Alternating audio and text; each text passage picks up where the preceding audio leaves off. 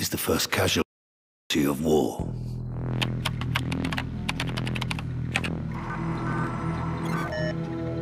But who defines what's true?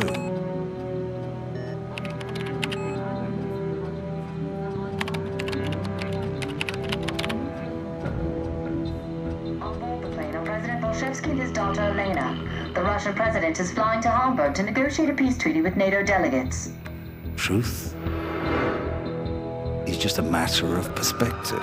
However, many Russians still blame America for the massacre at Zakhaev airport. The duty of every soldier is to protect the innocent, and sometimes that means preserving the lie of good and evil. That war isn't just natural selection played out on a grand scale. But for now, it looks like the world may finally know peace. The only truth I've found is that the world we live in is a giant tinderbox. All it takes is someone to light the match.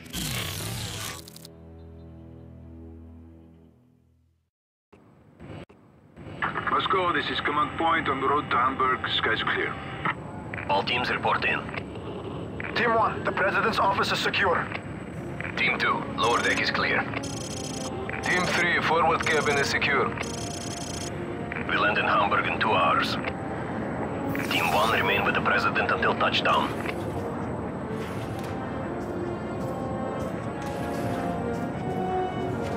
Vasily's waiting for you, father. He's expecting an answer from me. Team 1 moving. I don't like him. No one does. That's why he's good at his job. What will you tell him? The truth. He won't want to hear it. He has no choice. I'm the president.